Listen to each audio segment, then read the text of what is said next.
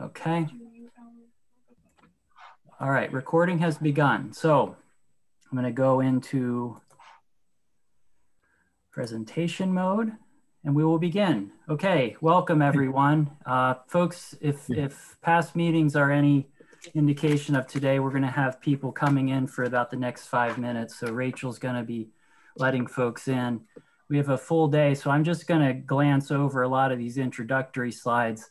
Um, all the introductory slides are on all presentations that are recorded. So the presentations and uh, the recordings are available. I'll show you that link in a bit. So um, if anyone wants more detail on these intro slides, feel free to access those. But we have two big presentations from Darren LeBrake and, and John Jackson today. So I want to give plenty of time for those.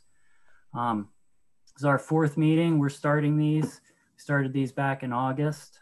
Um, so uh, this is just time for folks to check in and talk about anything that's going on with the, their Enviro DIY monitoring. Uh, we're supporting the Delaware River Watershed Initiative, but more broadly outside of that across the Delaware Basin. Um, and this is all funded through the Delaware River Watershed Initiative. You can look at that website, Four States, One Source, to get more info on the DRWI. Um, so general format here, it's time and space to check in. We're doing uh, two types of presentations, generally the station owner manager presentations, which is Darren today, and, um, and we're doing focus topic presentations, which is John's presentation today on conductivity. Um, we'll also do Stroud updates regularly. So this meeting is every third Thursday of the month, 2.30 to 3.30. The Zoom link is always the same. Um, and the, the group that receives the emails is a pretty large group, but everyone please feel free to pass that information on to others who are, um, you know, who you're working with or who you think would like to attend. Um, okay. So here's our facilitators. Me, Rachel, Krista, and Shannon are all Stroud folks. Carol and George are uh, working directly with us at Stroud. Um, and um, they are both uh, master watershed stewards with the Chester and Delaware County groups. Um, we are recording the presentation. We won't record the questions section if we end up having one of those. Um, everyone, please just keep your speakers muted unless you're talking. Um, like I mentioned before, these uh, recordings and the presentation um, the presentations themselves are all available at this website along with a lot of other materials. This is our general format. We're having a new uh, section today, just kind of testing out slight variations in the format. We're having photos of the month, just, just kind of a time for some whimsy and just kind of sharing photos of uh, recent activities, not necessarily directly related to Enviro DIY, but touching on that. Um, so for this topic, uh, photos of the month, we have this share link and I've made a folder in there where folks can share their photos. So feel free to use that if, um, if you'd like to share photos in next month's meeting. meeting. Um, so here's our agenda for today. Um, as I mentioned, Darren's going to talk about uh, his work in the Cobbs Creek watershed, monitoring an impervious and piped watershed for potential daylighting and neighborhood-wide green BMPs. And then John's gonna, John Jackson with the Stroud Center is gonna talk about uh, conductivity in streams. It's a two-part presentation. Part one is uh, today, next part's gonna be in December. And then we'll have, hopefully have a little bit of time at least for uh, questions for those guys as well as any other issues that come up. Um, primary goal, again, uh, from Stroud perspective is just to support station owners and using the stations for their own purposes but we are beginning um, to do basin-wide data analysis internally and to develop other watershed characterization tools. So uh, just a few Stroud Center updates. Keep an eye on your sensors, especially right now in terms of leaves as well as battery levels.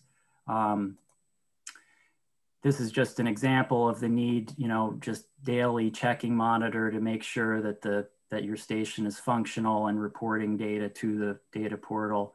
Visiting the station weekly is really ideal. um, and then doing your QC checks to make sure that the data are reading correctly. Especially if you see anomalies in the data, it's good to get out and do uh, cross checks with a calibrated handheld meter. Um, so this new little uh, uh, charger and volt reader is a nice uh, piece of equipment that Shannon has been developing. Uh, it doesn't come uh, for use. It, it, you can't use it straight from the manufacturer. Shannon has to modify it, but these are available. So if anyone is interested in getting one of these to charge your batteries, to swap in and out of your station, feel free to be in touch. Shannon is also going to be writing a blog um, that folks can follow to modify these on their own.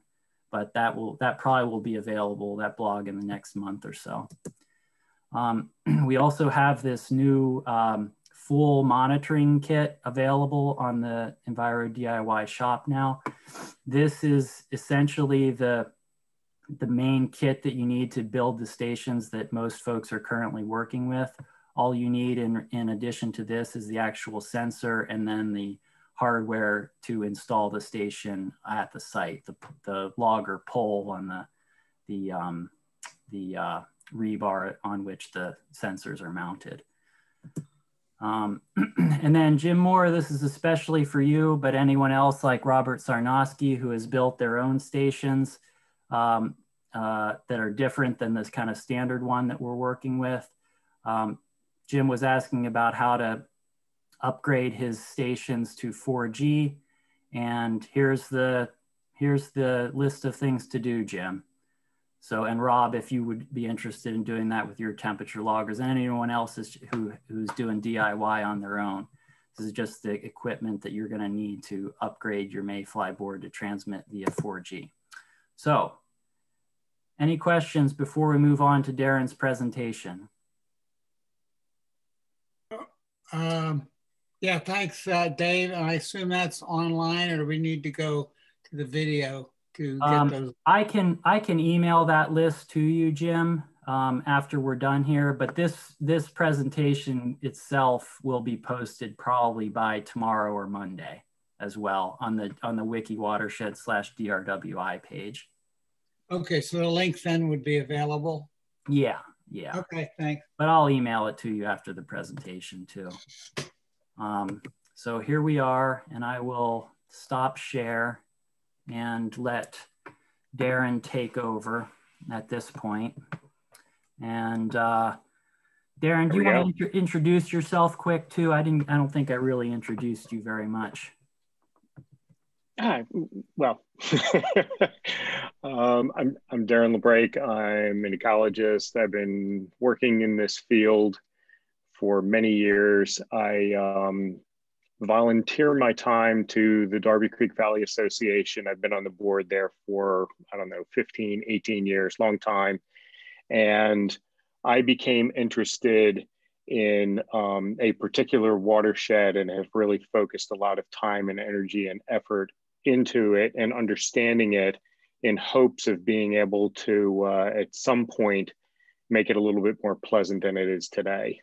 So that's the one that I'm going to spend some time talking about here. So it's um, a watershed that's been monitored since November of 2017 with SL 137 unnamed trib to uh, Cobbs Creek. And I'm going to go into a little bit of depth about the uh, watershed, like how in the world did this watershed end up where it is today?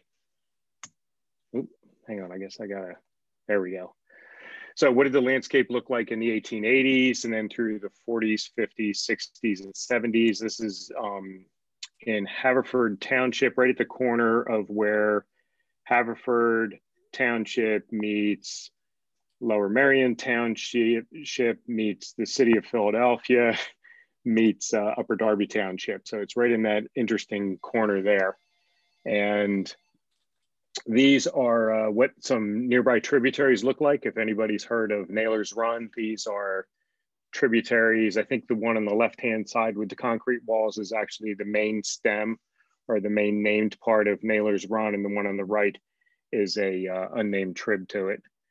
This is uh, just immediately upstream from that last photograph with those uh, rock baskets. That is actually a bridge abutment in the foreground and there used to be a stream that went through that yard. So the way the um, urbanization has happened in this, what I'll call a first tier suburb outside of Philadelphia, is that there was no respect for the streams. They were in the way. So we put them inside pipes and covered them up with grass and we barbecue over top of them now. Put a red dot. This little red dot is on, I think it's on every slide with a figure or map on it so that we're aware of where our place is. But you can see we're right in that very eastern, far eastern corner of Delaware County, right up against Montgomery County and uh, the city of Philadelphia. There's the dot again. Haverford Township is up to the north. That's the watershed that drains down to where that little dot is. And that little dot is where the um, DIY meter is. So here's an 1887 map of Haverford Township. You can see it's mostly large farms. There's a few patches of forest, roads just along the edges of the farms, and there's a lot of streams in there. You can zoom in on it, you'd see all the streams that are in there. Um, this is the watershed that I have been focusing on for a few years now. In 1887, there were nine large landowners. There was one little patch of forest down here in the bottom, two streams going through, and these springs that fed into it. They're identified right on the map as a spring. Um, and then the impervious is just a few roads crossing these large tracts of land. And there's our little telltale red dot. That's where the Enviro DIY meter is. Here's what the road system looks like today over this watershed. and as you can see, none of the roads um, miss or go around or really are next to any of these streams that were there in 1887. This is what the impervious looks like now in this watershed. The watershed has more than 1,700 houses. All the streams are gone from the landscape. You can see faded blue lines under here. These are the original streams. And you can tell that we just bulldozed, piped, and built houses right on top of everything. And there's our little red dot again.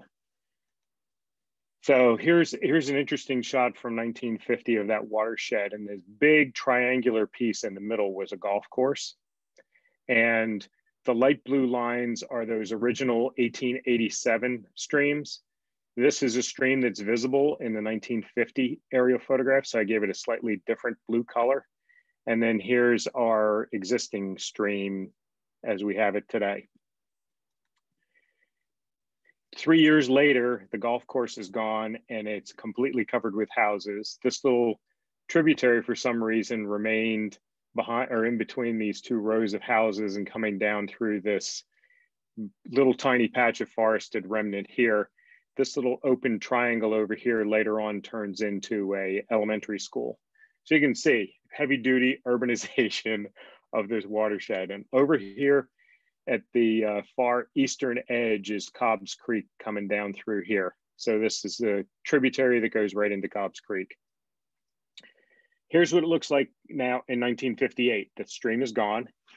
The uh, yellow lines represent the pipes that carry these two tributaries. They continue to flow today. And I'll show you a picture of that a little bit later. Um, so this is a 520 acre watershed. Because it's under a square mile, it's not studied or um, mapped by FEMA for flooding. And there's lots of flooding that happens. Um, all the streams are gone. I'm sure that all those springs are being discharged by someone's sump pump unless they buried it under five feet of fill or 10 feet of fill and then build a house over top of it. So the only remaining reach of the stream is behind a uh, little repair shop and out onto this golf course.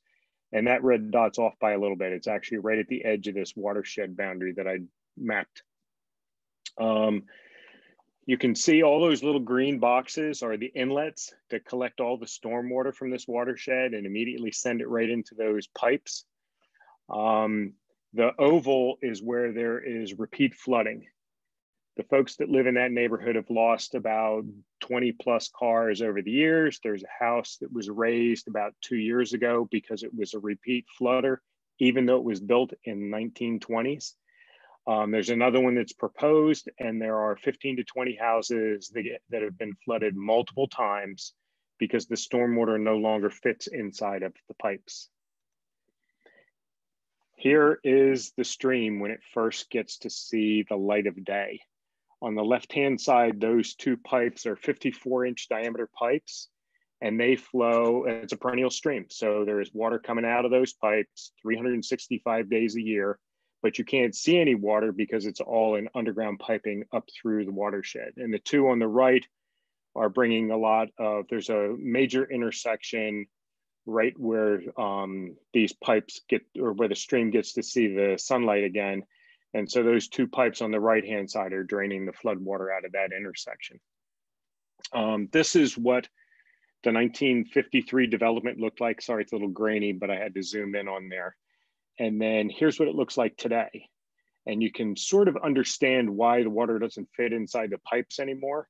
When you look at all those little red boxes are the original houses and just about every single one of these houses has some sort of an addition on the back side, on the front side. And I know from walking through this neighborhood, this is very close to where I live, which is probably why I got became so interested in it. Um, all of them, everybody has far more cars than they did in the 1950s. So everybody paved additional area behind their house so that they could park their two or three cars and maybe not park all of them on the street. So here's what the watershed looks like without all that other noise in it. And here's what the mapped impervious looks like. And I just taken a look at that. That looks like that's around 50 plus percent impervious. And one of the downsides to having so many houses is that you have to have an equal number of roads so that everyone can get to and from their house. So this whole area is just saturated with roads and houses. I do I do part of this talk here to um, groups around here, Rotary clubs and other places to try and get people to understand what their impact is on the streams. This is these are the two typical lots there, and you can see the impervious in there. And as soon as you add the two houses with their additions on them, you're already at 20% impervious. And then since everybody gets to own that piece of the road to get back and forth to their house, so it's really each one of these houses because they were built and need a road to get there, they're at 34% impervious. And when you add in the rest of the paving the, the um, driveways and everything else to this, you're at 56% impervious and 100% of the water that lands on those surfaces, as I'm sure you all understand, immediately runs off, it's put into a pipe and goes straight into the streams. So this is this is the uh, this is the little tributary that's on that golf course, and I grabbed one storm. This was probably um, 2018 or 2019. I grabbed this one storm because I thought it was pretty spectacular. So it's 6:45 p.m. I had base flow and it started to rain, and then by seven o'clock, the water level in this little creek had gone up 40 inches. So in 15 minutes, it went up 40 inches, and then 15 minutes later, it went back down. It was still about seven inches of water flowing in there, but it went back down. So this is by definition a flashy stream. Um, here's base flow at the top, looking upstream and downstream from a little bridge. The meter is right where my mouse is moving. So it's sitting right about here. Uh, actually, it's in the water. The uh, post is out here, but it sits right in the water there. And this was not a particularly large storm. This was probably a quarter to a half an inch of rain that fell in a you know late fall or early winter storm event, or it might have been a spring one. So I um, used part of the grant that we received to install the meter.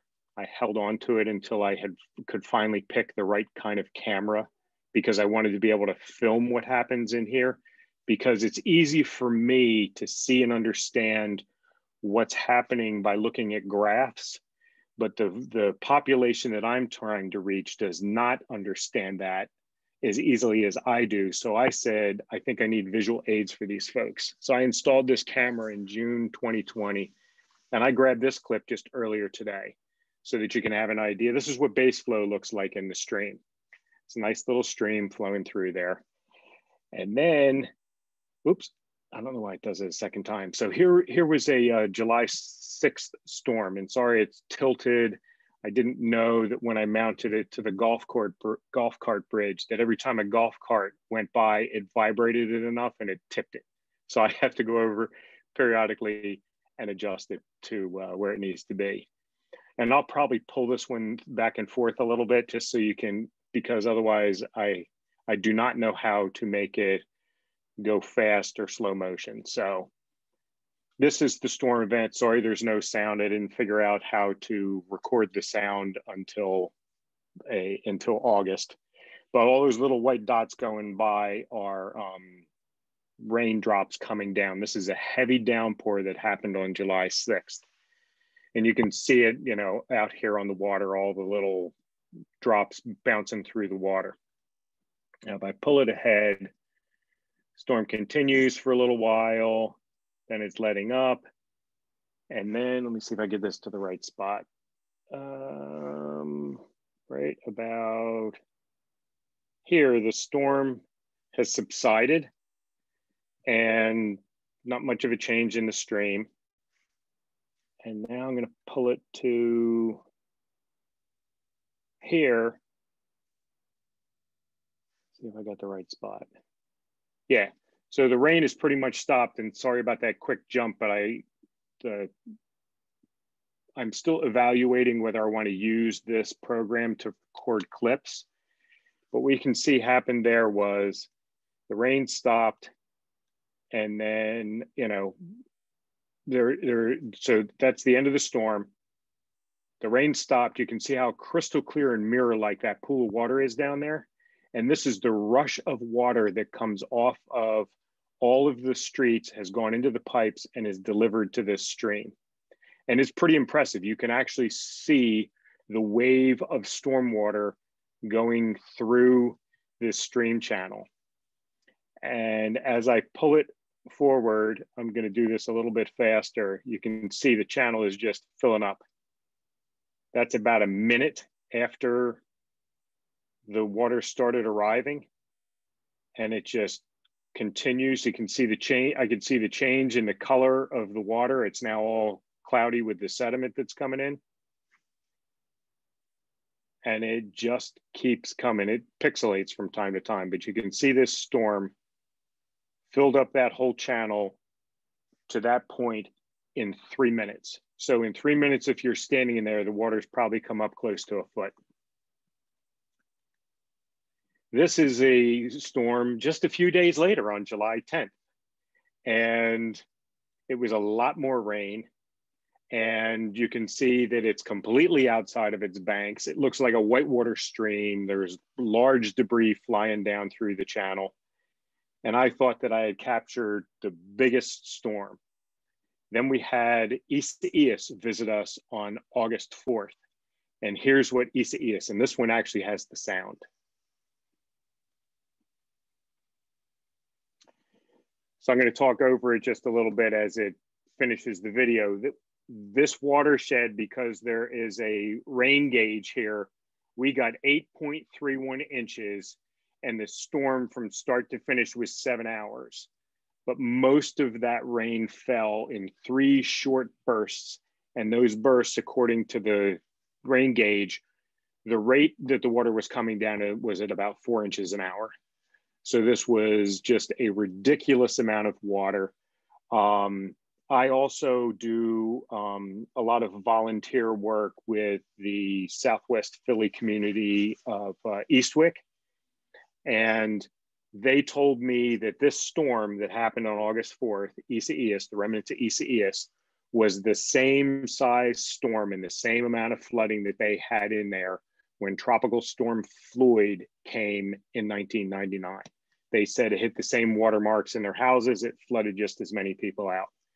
So now we've had two very substantial storms in a uh, pretty short window of time.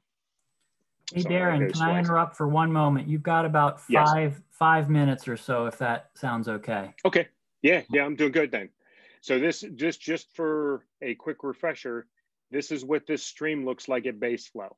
I felt like I had to put this back in there because all you saw was that monstrous rush of water. But you so just picture that entire field in front of you full of uh, rushing crazy water. So here's details on the camera. After doing a couple of years of poking around time and again, looking for the right kind of mirror camera, this one is made by Arlo. You get the camera, a power adapter, a rechargeable battery, and a mount for it. And then what here's here's what they cost. I bought mine through Verizon because that's the people I have my cell service with. It's $423.99 delivered to my house, camera.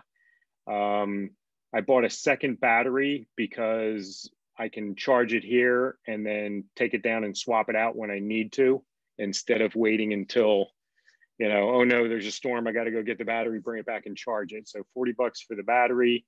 I got a brown protective skin for the outside of it because I didn't want it to be terribly visible. The face on it, as you can see, is black and then the, the shell on the outside is white and it just made it too visible for the urban environment where I put it. And then to get a charger for the battery was another 20 bucks. So all in you're at $562 and you can get video captures like that. I'm using a free piece of software that I will probably buy because I do like the quality. And you just log in through the Arlo website, log into your camera, start the recording, start the real-time camera shot and it just records it for you. And it's only like $5.28 a month to my cell bill. Here, here I'm gonna just bounce through these last three slides really quickly here. So there's the potential for like a thousand or more rain gardens in this watershed. There's only three large pieces of land left underground storage and detention opportunities only exist in those large ones because everything else is an individual homeowner's small lot. This is the area that floods all the time. They're not eligible for the flood insurance because the size of the watershed isn't greater than a square mile or 640 acres. So we have a growing greener grant. We're installing temperature buttons so that I know when the water arrives in the pipe, we have hobos so that I can measure the volume of water that's coming through there. We've created a mathematical mo model that predicts the stormwater through here. We're going to start calibrating that model. And then hopefully inside of one of those two yellow dots, we're going to install 50 rain gardens because that's what we got a grant for. If I can get all of the homeowners inside of the very top edge of the watershed to agree to install or have us come and install a free rain garden because there really isn't any other way to manage the water. And then this uh, affords us the opportunity to measure how much later does the water show up in the pipe, how much less water shows up in the pipe. And if we do this on 1500 or 1000 or more yards in the watershed, can we make a measurable difference in the outfall down there at the pipe? So that's it. I went through it as fast as I could. I'm gonna stop sharing my screen now. I hope I didn't go over too much.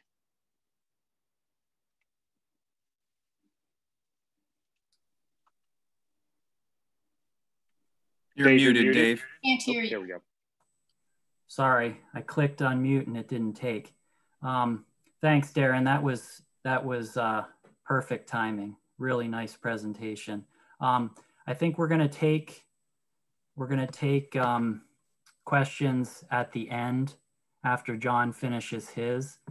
So um, right now we have John Jackson. He's going to talk about conductivity in streams. This is part one.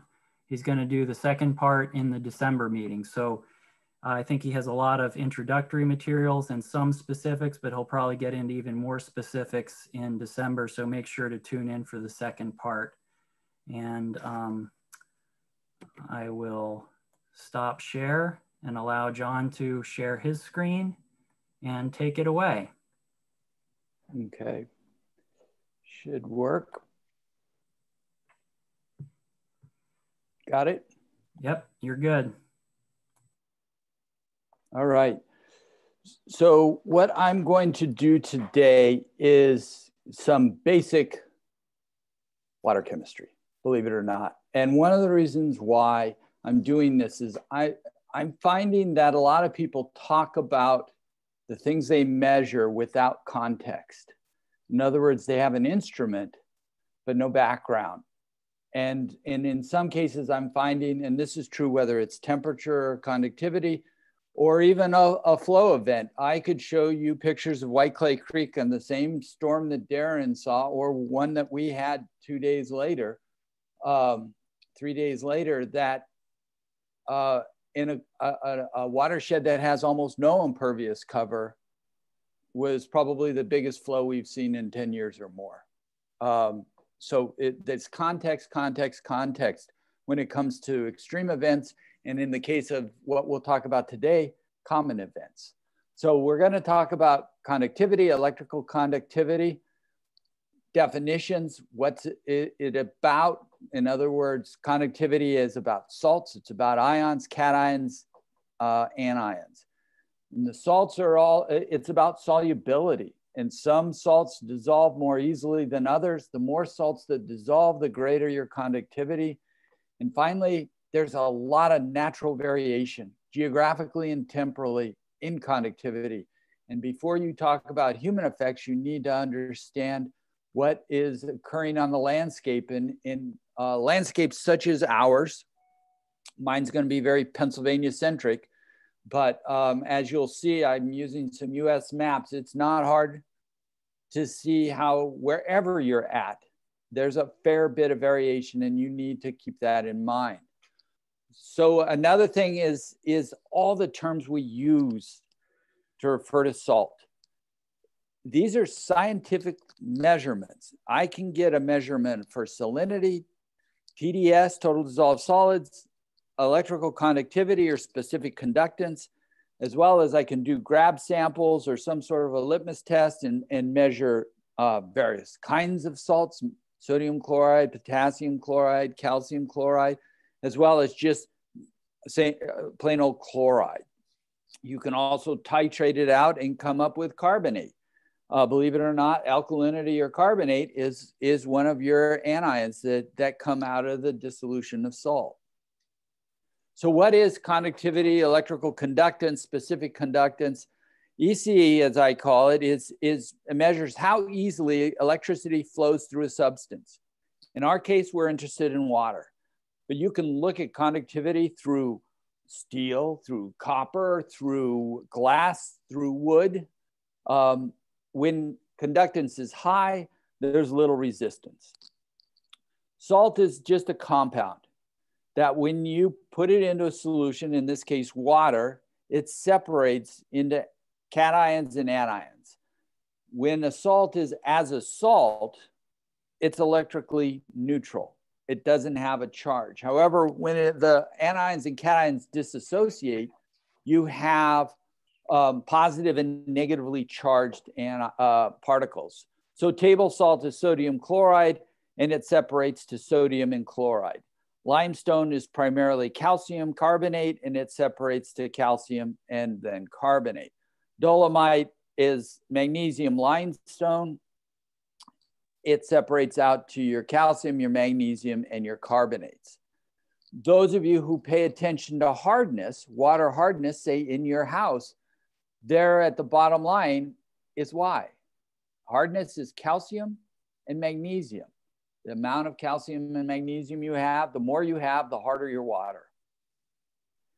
So the salt is, is composed of these ions. And an ion is just the electrical charged atom or group of atoms. And it's formed by the loss or addition of electrons. That's why it has a charge. In other words, it's a positive or a negative. When they're positively charged, they're called cations, and that's your sodium your potassium, magnesium, your calcium. We're finding when we're dealing with salt toxicity, these cations are all about the story. The story is all about the cations. The anions are what we started out talking about over the last decade or more. And those are the negatively charged particles, the chloride, sulfate, carbonates. We initially thought because I think people use thought of salt as a disinfectant, and that was the chlorine or the chloride. That was the disinfectant. We thought that that was the toxic element. But the, the data are showing that it's probably more tied to your cation than it is to the anion. And this is what it looks like in practice. So you'd have your salt particle in and amongst your H2Os, your water. So here's your chloride, here's your sodium attached. That's the same as calling it a crystal. And when it disassociates, you see, for example, this chloride is surrounded by four water molecules. This sodium is surrounded by four water molecules. It's this disassociation that affects the conductivity of water. Not all molecules dissolve, uh, uh, but I mean disassociate when they dissolve. And sugar, methanol, ethanol, those are all good examples of you can dissolve a lot of sugar in, in water, but it doesn't disassociate.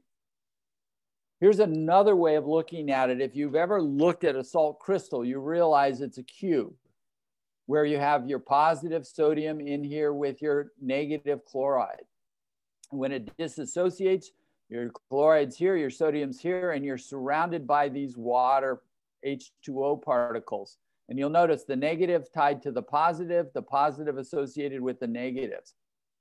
Well, when we apply a charge to it, we get movement of those charged particles so that your negatively charged particles go toward the positive end and your positively charged particles go to the negative end. So your anode and your cathode. And this is, I threw this in as an experiment. If you're seeking to teach people about how this works, you can set it up. Here's your battery, here's your light bulb, here's your distilled water. Distilled water won't conduct electricity or will conduct very, very little. Your light bulb stays off.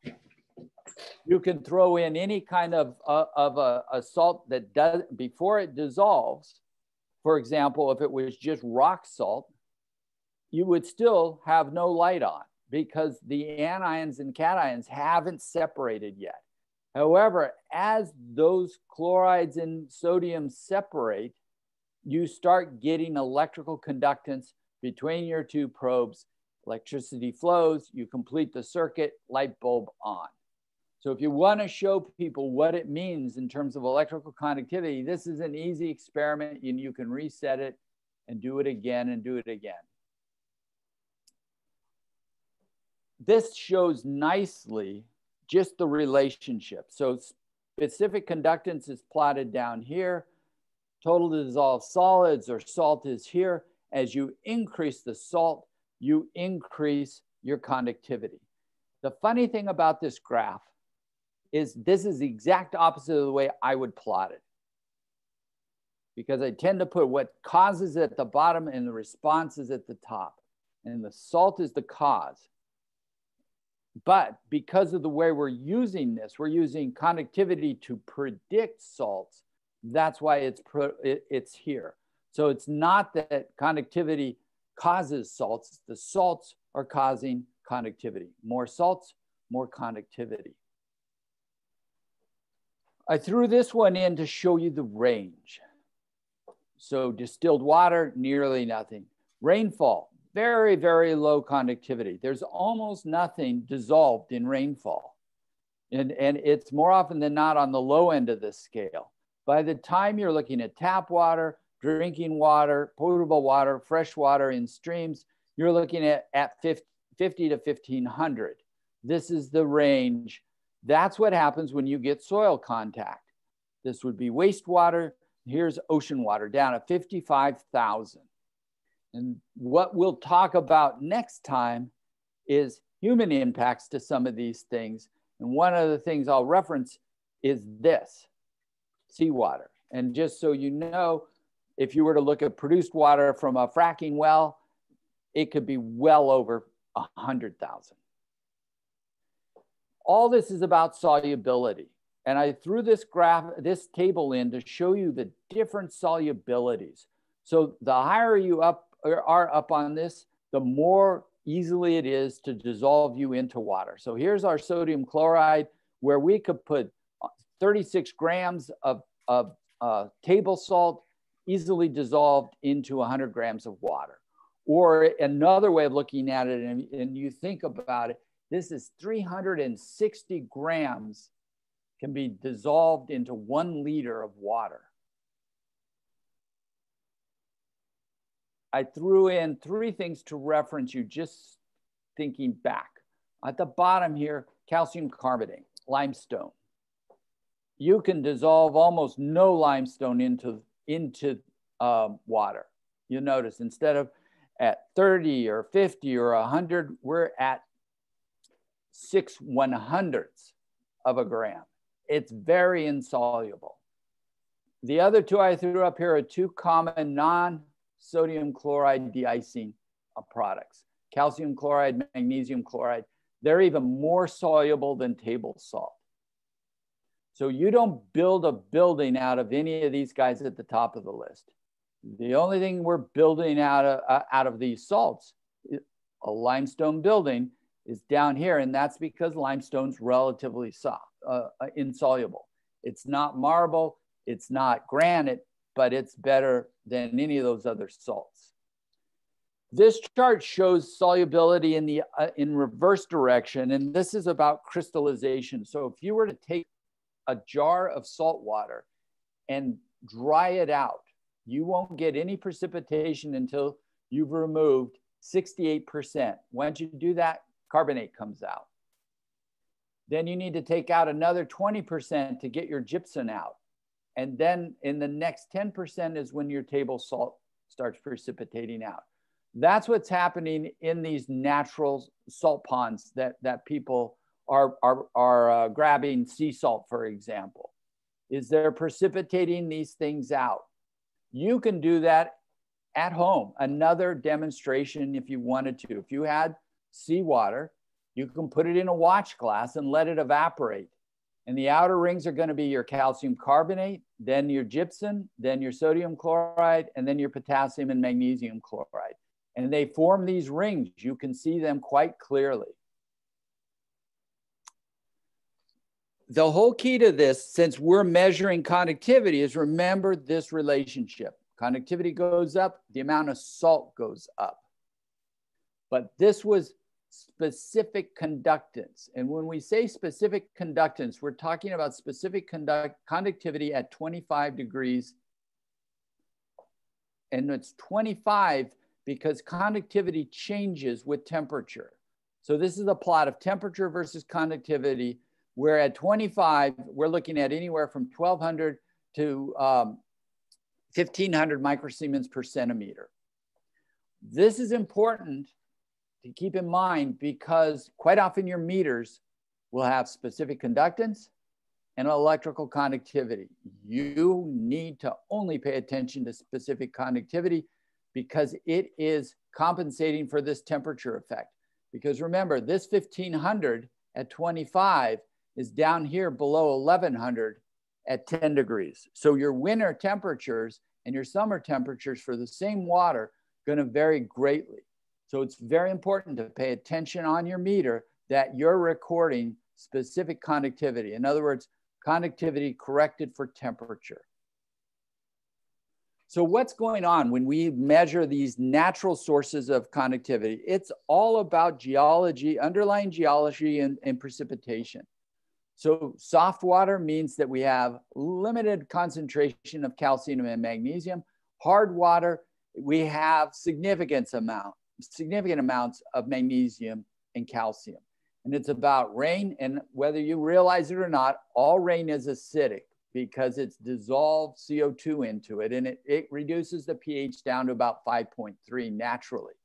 That contributes to the weathering of your bedrocks, whether it's granite or limestone or sa sand or, or um, sandstones. And that weathering process is where we get the dis dissolution of salts into the anion and cation phases. I threw this picture in to show you how limestone goes, where limestone is so easily eroded relative to say granite, and you get these underground pathways, but you also end up with very hard water versus soft water coming off of granite. This is a map of limestone or soluble bedrocks across the United States. That's the blue here. And then they show two other things. One is humid areas or areas with a lot of rainfall, greater than 30 inches. And that's this gray area. And then areas that get less than 30 inches, this would be the more arid portions of the United States, shown in, in yellow over here.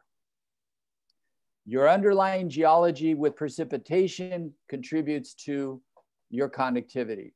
Where you have limestone or soluble bedrocks, you get elevated conductivities because you're dissolving those bedrocks. This is a, a blow up in the Pennsylvania to show the slivers of limestone where you're gonna have your most soluble um, bedrocks. This is out of Chester County. This is data from 450 wells that they've monitored for a 10 year period. I've just highlighted just the range. In one county, Pennsylvania, this is where the Stroud Center is, where they have a minimum and a maximum, minimum being 23 and a maximum of 1400. That's a significant amount of variation. And some of this might be pollution related, road salt related, but it dates back to 2001. It's very different than 2020. Um, but I just wanted to show you the range that you can see. The other thing is if you just think about medians and your underground or your, your underlying bedrock, we have a range, if you're in the limestone area, of over 600, whereas in a quartzite area, you're about 150. Fourfold difference occurring naturally. The upper quartile, the upper quarter of all measurements across the county, we're averaging 350. This map plots those numbers as black dots above that upper quartile. This gray band here, these gray bands down here show you wells that cross that line on average consistently.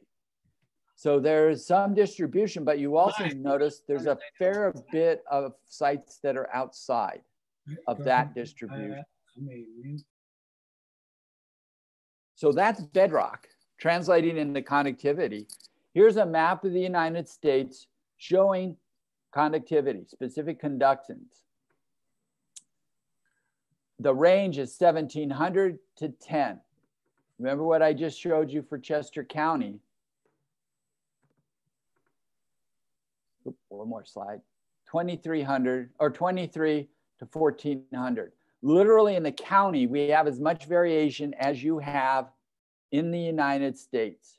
But you don't see it that easily in this map.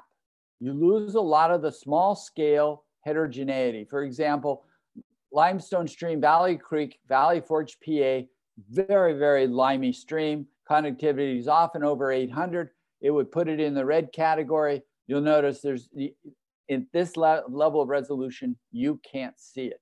But you do see some of that patterning that was showing up in that limestone map. John, you've got yeah. John, you've got a couple minutes. Hope okay. Okay. Where this gives you some range, this regional variation, three streams ranging from 128 or uh, 29 to 152. These were seen commonly on the low end, less than 100 Buckwa, on a high end, greater than 800, all within a three or four county area in southeastern PA. These differences are natural. They may be ecologically important. We see natural limestone streams being having faunas and physiologically low ionic strength water also challenging. Next, we're going to, and the last thing we're going to deal with is temporal variability, and that has to do with rainfall versus base flow. Rain events, just like Darren described, quite often result in overland flow. And overland flow means short resi residence time, little contact to soils. That has low conductivity versus water that rainfall that goes underground and then ends up in the stream or river. Longer residence time, more contact with soil and rocks, higher conductivity. This graph shows you a blue line, which is the flow or water depth. The yellow line here is conductivity. This is a dilution effect. This is a dilution effect related to rain events. Water goes up, conductivity goes down. This is very natural. We see it in all streams. We see it happens frequently. Some cases it's a small change, in other cases it's a large change. These are all dilution events tied to precipitation, tied to the idea that rainfall doesn't have much salt. Most of our flow during these storm events is overland flow that doesn't pick up salts and therefore it doesn't spike. It does a dilution. These differences are natural. There's no known ecological relationship. Nobody studied these and said, oh, these are harmful or not. And one of the reasons it's safe to assume that they're not harmful is they're very, very short lived. The one thing you do notice, though, is, is there can be parallel patterns within a region, especially with larger regional storm events. These are three different sites, all responding in parallel over time. Here, the blue line is the storm event. So all of them saw the same storm in August of this year that resulted in this dilution, a drop. And then, but you notice how quickly 12 hours, 24 hours, conductivity is back up to background. So the things to remember, electrical conductivity, specific conductance, it's about salt but it doesn't tell you anything about the specifics of the salt. It doesn't tell you calcium carbonate versus sodium chloride versus potassium chloride. There's a lot of natural variation.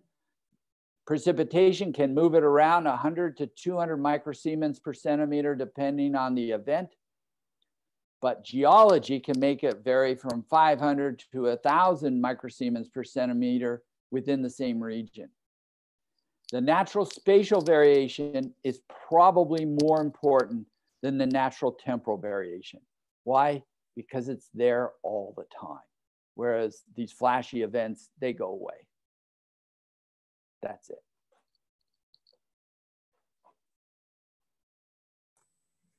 Awesome, John. Thank you. That was a informative presentation as usual. Um, I'm going to, yeah, good. Thanks, John. Uh, okay, I'm going to share my screen. And there we go. Okay. Um, so actually, let's go back. Haircut. Oh, okay. Uh, okay, uh, let's see. Yeah, Jim, mute. Thank you. Um, all right, so questions for John at this point or Darren? Let's go into questions for John and Darren. Uh, okay, I have I have a question I should know the answer to as an electrical engineer, but uh, John, uh, micromhos and microsiemens, you use them both. Uh, aren't they the same? Yeah. Thank um, you. I forget the exactly how they you go back and forth, but they're basically the same. Yeah. Mho is the was the one that was historically used, but they transitioned to micro Siemens, I believe, later. Right, it's uh, reciprocal ohms. Anyway, the other more interesting question, I've been running some experiments or looking for at road salt, and I ran a test this summer, and what washed off the Pennsylvania Turnpike, you could drink it. I mean, the, my, the conductivity was way down, but I know there had to be a lot of oil, grime, does that contribute to conductivity at all or not? Uh, or is it? Uh, if it doesn't, if it doesn't ionize, it's not contributing to conductivity. Okay, so oil, uh, transmission fluid, antifreeze isn't going to affect conductivity, correct? I would guess not. I, I can't think of ever seeing an example. It's always possible that someone comes up with an antifreeze product that might have some ionic components in it um, as part of the, but ethylene glycol, no, it doesn't. It, as far as I know, it doesn't separate. Okay, thanks.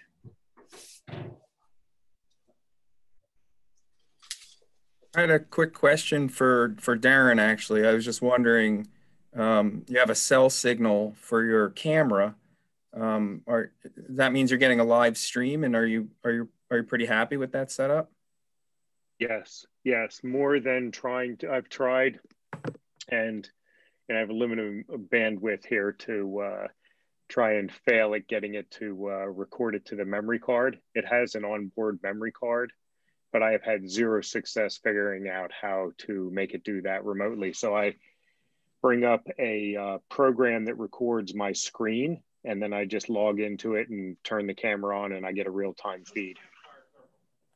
Uh, Darren, uh, I was going to yes. suggest I have uh, worked up a hack, and I think uh, Dave asked if I wanted to put it into a blog, but it's a way of taking a simple $80 trail cam and electrically triggering it, which you can do right from your sensor.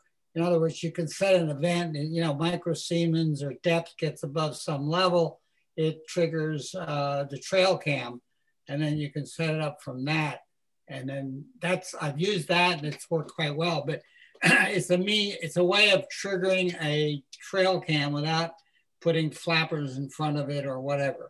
Yeah, or wave, waving something in front of it. Yeah, yeah, yeah. I would appreciate if you'd share that because I do.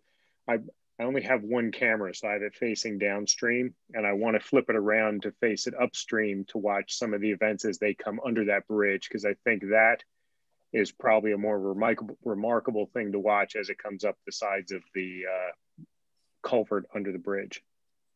Oh, okay. Well, if there's interest, uh, and Dave, I guess I can talk to you offline about putting in the blog just the mechanics of hooking up your camera uh, to uh, have an electrical. It's just simply a clo relay closure or a signal mm-hmm. from the uh, sensor itself that will trigger the camera.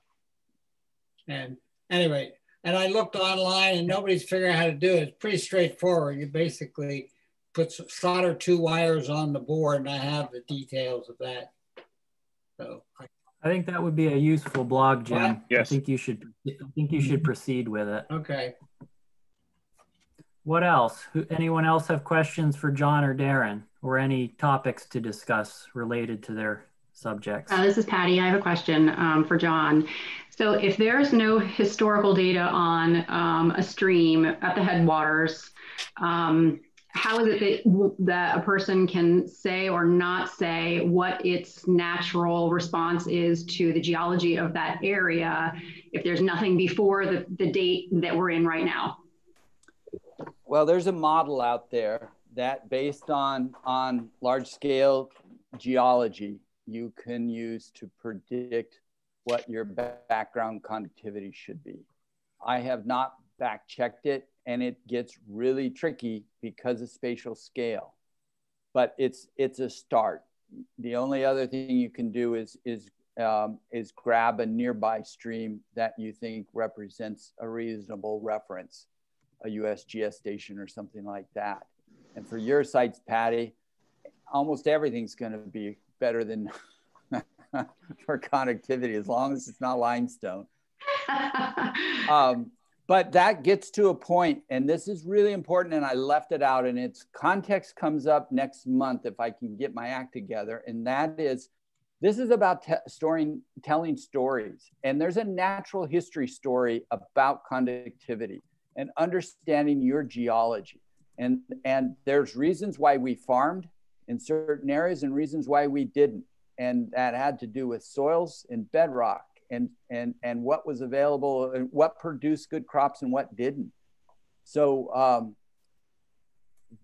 keep that in mind. Quite often we went we we move right past that onto onto we have a pollution problem but sometimes setting setting the table with that natural history is how you show how extreme your pollution problem really is.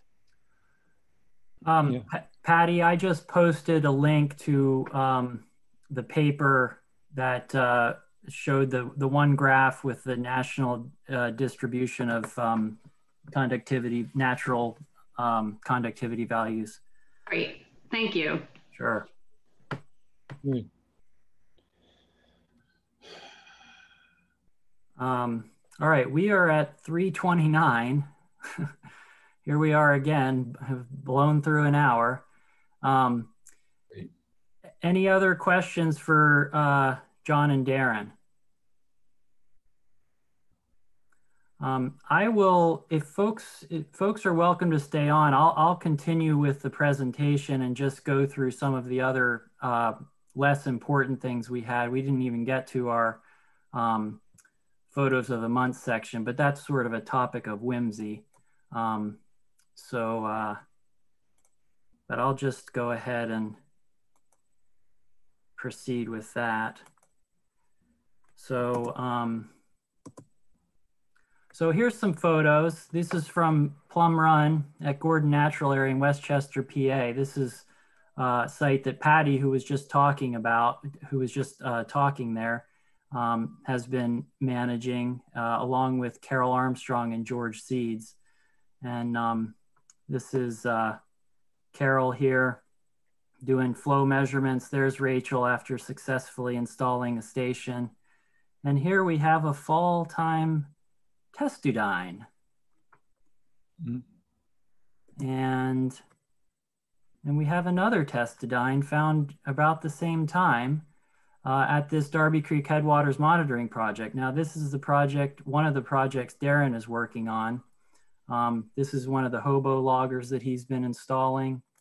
Um, they're going to be also measuring um, chloride using these Hach chloride strips, using a simple thermometer and uh, using a uh, uh, standard kind of uh, you know, handheld conductivity and uh, temperature meter that they can calibrate using the mm-hmm. calibration fluid. Um, and there's the close up of that bad boy. Super, super cool. Oh, is a testudine, is that a type of turtle or what? Glad you asked, Jim. It's the or it's apparently the order. I heard that term recently, and I thought I'm going to use that term. It's not a bog turtle, and it's not a painted pond. What is it? It's a box turtle. Box mm. turtle. Okay. It, it, includes all of the all the like tortoises, turtles, etc. as a te our testudines. Um, I thought I'd include this. This is one of the streams that is prominent in uh, the uh, kind of the area that some of uh, quite a few of the groups that are in this effort work, are working on. Wyomissing Creek is a trib of the, uh, the Schuylkill, and um, it's kind of up there in that region around Angelica Creek, and there's it's kind of a, got a nice um, kind of concentration of trout streams in that region. I went up there recently, and um, in about an hour, hooked about a dozen of these little brown trout in there wild trout, you know, reproducing in there. So that was a that was a good sign. Um, and then um, this is uh, is there a question there? No. Uh, and this is here at, at uh, Cheslen Preserve, um, uh, just outside of West Chester. This was just uh, this past weekend when they, there, were, there were these um, Allocapnia, winter stoneflies emerging.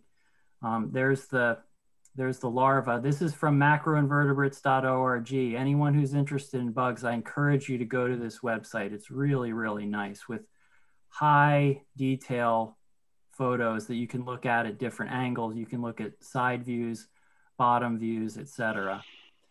Um, and I, we could go to a video if folks are interested. Um, I think that, oh, and then we've got.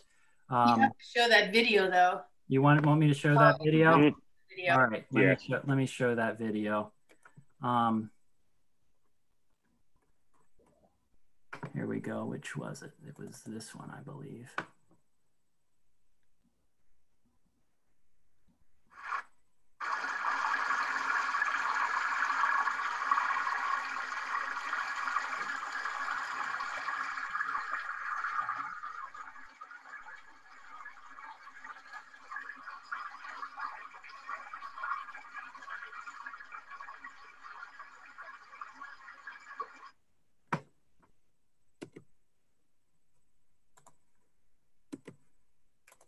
That's a shorter, that's a shorter one, Carol, but I think that'll do. Um, so they were everywhere. Lots of those, lots of those stoneflies. So that was pretty cool. Um,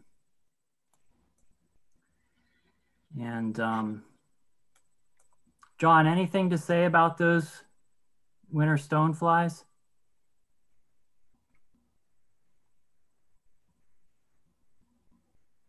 Muted? Guess not.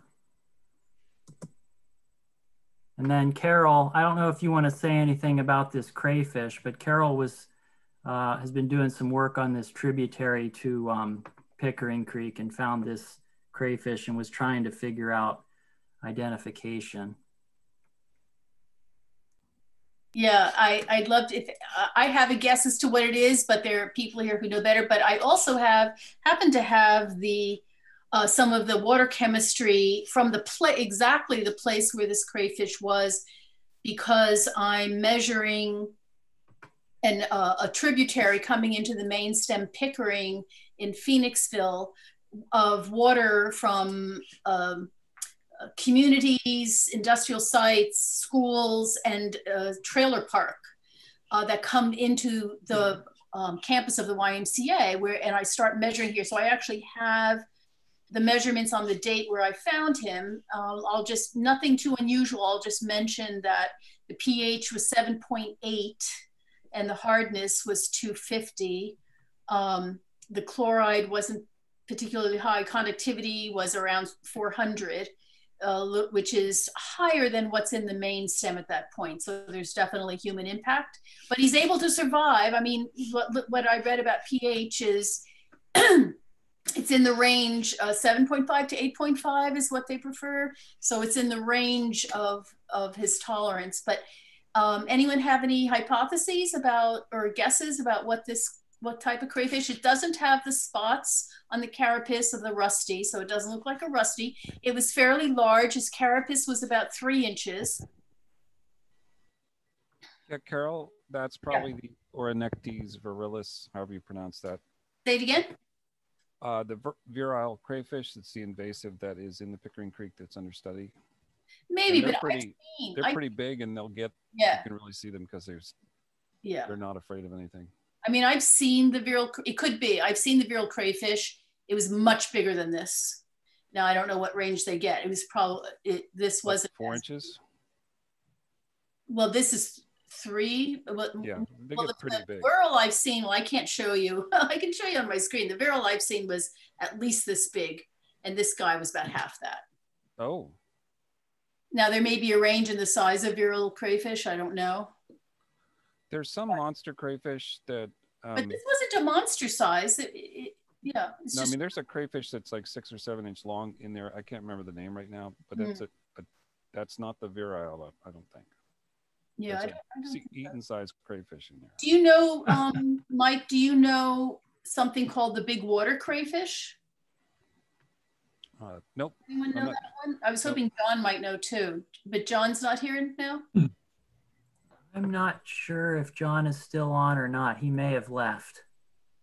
Just when we needed him. yeah, I think he said that he had a thing at right at uh, at 3:30. I think he may have had to leave. Carol, yeah, I, I will say this: the people studying the crayfish in the Pickering have found it's another species that is actually it's over six inches long. that's and amazing. That's a, a native. And uh, yeah, this guy is is three inches approximately yeah, from here to here. Oh, yeah, you can't see. Sorry, I'm not sharing the screen, but anyway. Awesome. Cool. Thanks, Carol. Good info, Mike. Um, okay, so that's that's what we've got for um, for our photos today. Um, that's what we've got for our presentations today. I'll just conclude here. Um, unless anyone has any pressing questions or needs to address at this point. Um, just want to emphasize again, we're the third Thursday of every month. So the next one's going to be December 17th. Um, Zoom link will remain the so same. Please, please, please feel free, you know, all you station owners and managers, please feel free to, you know, invite whoever you're working with, volunteers, other staff, um, folks that might that might want to get involved. Feel free to invite them to to these meetings. Um, so here's our uh, uh, schedule for the next couple months. We've got Francis Collins, who is on the call today from the Primrose Creek Watershed Association. Francis has a really interesting situation out there. Um, Primrose flows directly into the Delaware River north of Philadelphia. And he's a really um, interesting but somewhat unfortunate scenario with a quarry that has drawn water out and has created sinkholes and all kinds of wacky problems that Francis and his crew have been monitoring for quite a while now. Um, and then in January, we've got Juniper and Christine who are going to talk about um, some of the uh, broader scale type watershed characterization type stuff that we're, we're trying to do with, um, with the data. Uh, and then in February, hopefully we'll have Paul Wilson will talk about some of the stuff that he's been doing this semester with his students using Monitor My Watershed and Model My Watershed. And then, as I mentioned, John's going to be um, continuing. Oh, whoops, I got that wrong. Uh, part two will be in December. And then I guess we'll have, uh, I'm not sure who's going to be gone in January. And then Pat, Patty is going to be gone and talking about her master's work um, in the West Chester area in February. And everyone, please feel free to be in touch if you'd like to do one of these presentations. I'm not sure if we have a focus topic for, for January yet. I have to check my records, but if anyone's interested in doing something like that, please be in touch.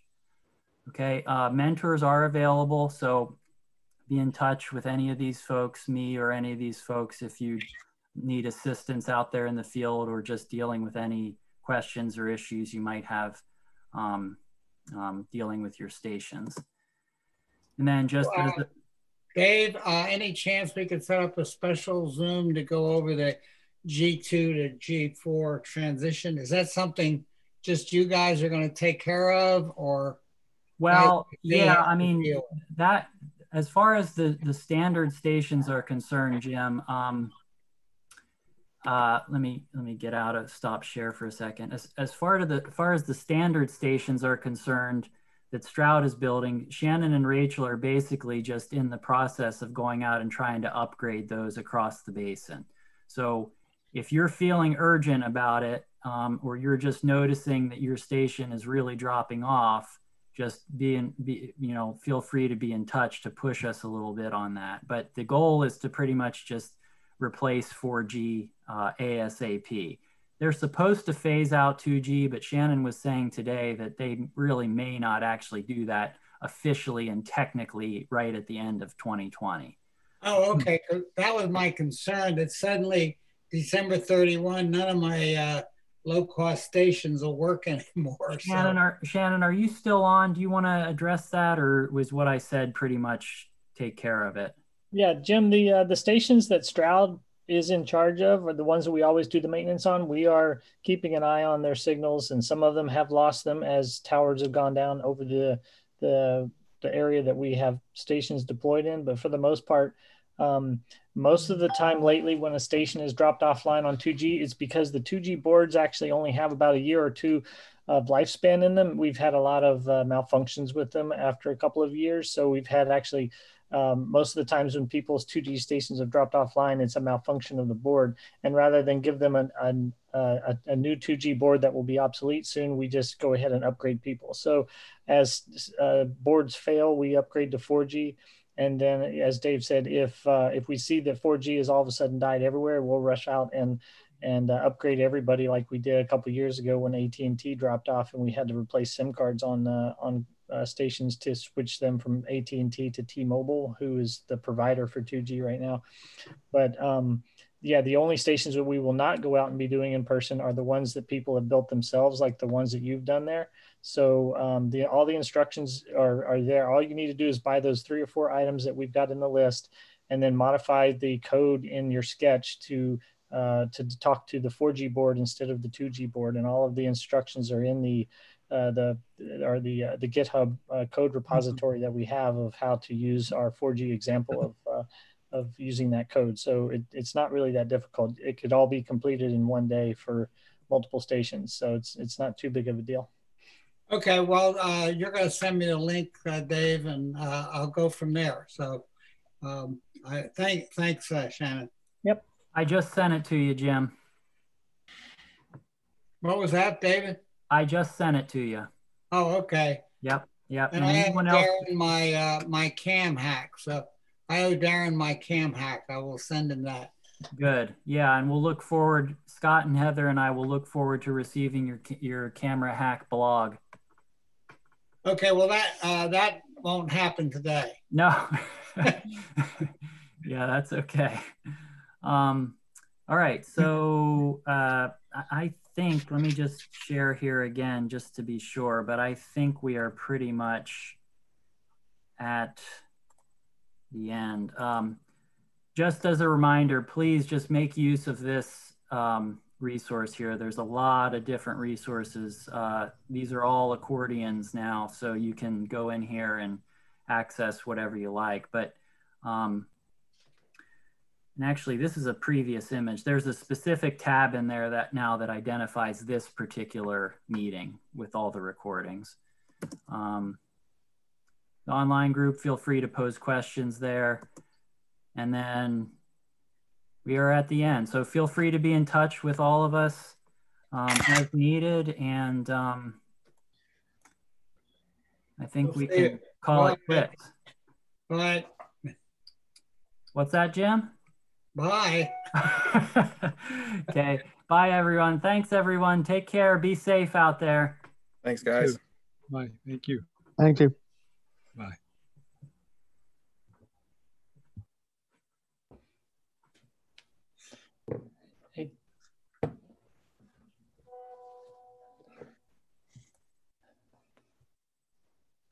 Okay. Um, so what did you guys think? And you might want to end your recording there, Dim. Dave. Oh, th thank you, Shannon. Excellent. well done. Appreciate that. Ending recording.